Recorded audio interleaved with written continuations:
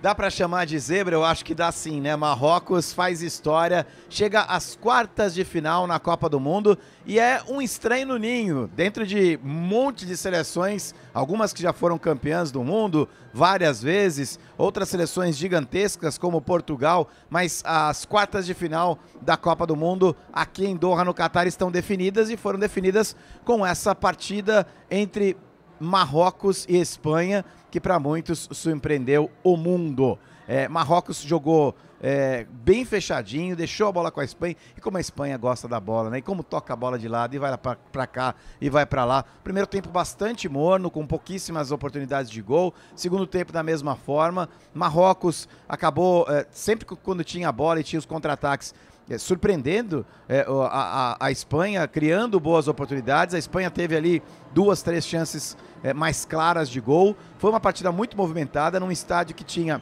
uma atmosfera fantástica, de maioria esmagadora de torcida marroquina, que está fazendo barulho até agora aqui é, em Doha, no Catar. Negócio impressionante, realmente. Depois do empate no tempo normal, empate também na prorrogação, fomos para a decisão por pênaltis, a decisão por Bono, né? O nome do goleiro de Marrocos, que pegou duas cobranças, mais uma bola na trave. A Espanha simplesmente não conseguiu marcar no tempo normal, na prorrogação, nem também na disputa por pênaltis. 3 a 0 para Marrocos na disputa por pênaltis, depois de dois empates por 0 a 0 E agora a seleção de Marrocos vai enfrentar Portugal, que resolveu jogar bola, mesmo sem Cristiano Ronaldo.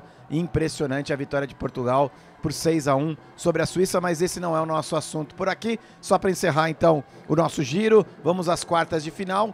Brasil e Croácia, meio-dia da sexta-feira, na Cidade da Educação, mesmo estádio de onde acompanhei a vitória de Marrocos sobre a Espanha. Holanda e Argentina no Luceio. Sábado, meio-dia, Marrocos e Portugal no Alto Mama. Inglaterra e França às quatro da tarde no Albeit. A Copa do Mundo está chegando ao funil. Restam apenas oito seleções e depois disso apenas quatro seleções nas semifinais. E aí, se aposta em quem?